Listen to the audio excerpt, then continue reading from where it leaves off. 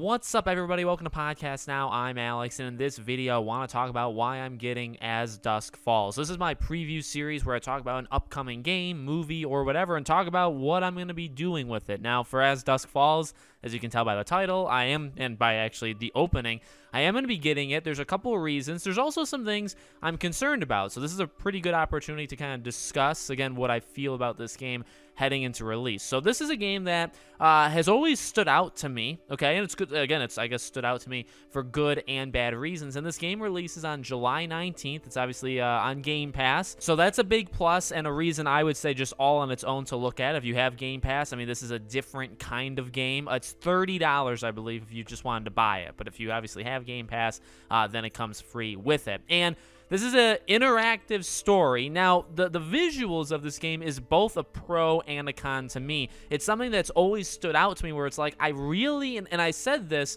during the Xbox Bethesda showcase this past year, I really want to like the visuals of this game. As of right now, I will say I think it actually doesn't work for me, okay? And that's, of course, without playing the game, so that could easily change my mind. But right now, looking at the visuals, it's a standout, but for me, it's a standout where I just don't know for sure if they're going to be able to pull off emotional storytelling, which is kind of, I mean, it's an interactive, it's, it's not necessarily a drama, but I mean, there's going to be decisions you make in this game that impact what happens to these characters. I do believe they can die um, because it says, like, who will live. So I guess the, the reverse of that would be, you know, who could you get killed off. So, the characters are going to go through things in this game, and I just don't know if the visuals is going to be able to support that. That's and that, again, that's just my opinion right now. Um, I, I, know some people do like it. I, I again, I expressed that I just like I, I want to like it, but I don't know if I can say that I like it during the Xbox uh, Bethesda live stream. And a lot of people actually said, "Yeah, I'm kind of with you. Like it looks cool, it looks interesting, but those visuals just really don't do it for me." So we'll see what happens. But this is a another part of this game that I actually had to look up. They didn't they don't really make this clear, this is going to be one of those games where you decide on your phone. Um, now, if you watched, actually, they did do a behind-the-scenes video, I think a couple days after the Xbox Bethesda show, where they showed it just briefly. So this really now reminds me of a game like Hidden Agenda from Supermassive Games, if you guys remember that. And there's been other games where you use your phone to answer. Um, that would make sense. Uh, I, I was also kind of worried about, well, where does the decision-making like take place on screen? Because the screen looks like you want everything focused on the visuals and what's going on. Are there going to be like dialogue choices like floating in the air? Like what's going to happen? There are things that kind of are placed, right? You see in the behind the scenes where like you're getting attacked by a dog or something and it says like to swipe, but you're doing everything on your phone. And you're going to be able to do this by yourself or with a group of friends and you're going to be able to basically vote in terms of what can happen and what can't happen. Now, I like that. Uh, and, and again, that's always something that stood out to me in this game in terms of,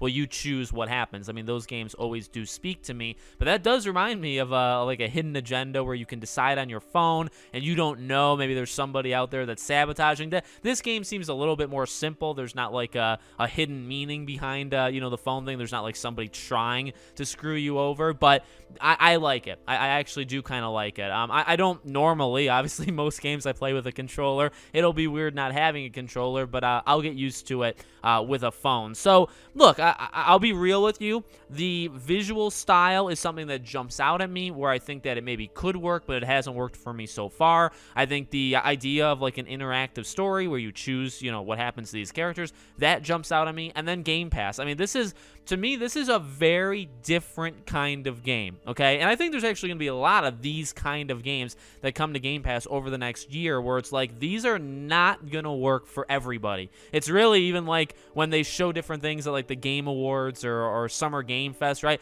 They show a big group of games and there's probably going to be a game for every person, but not every person is going to like every single game. Does that make sense? So, and I feel like that's kind of the case for Game Pass over the next little while. As Dusk Falls is a different looking kind of game, I think it's going to work with some people. I think flat out people are just going to skip it. I think people may hate it, right? Like, you're going to have that, but you're going to have that for Scorn. You may have that for Somerville. You're going to have that, I think, for a, a, wide variety because what they're basically trying to do, right, is just throwing things and saying, hey, here's all these different kinds of games. Some people may like them, some people may not. And again, Game Pass is obviously a really big uh, factor in this. I mean, it's coming out. There's no risk if you have Game Pass, right? Give it a shot, see what it's like. So I will be reviewing this. I will be covering this game. Again, I'm really hoping that it, it wins me over. I think really the the strengths of this game is probably going to come down to the writing, okay, in terms of like the plot and what happens and, and how your choices change from one thing to the next. The characters, the visuals are either going to like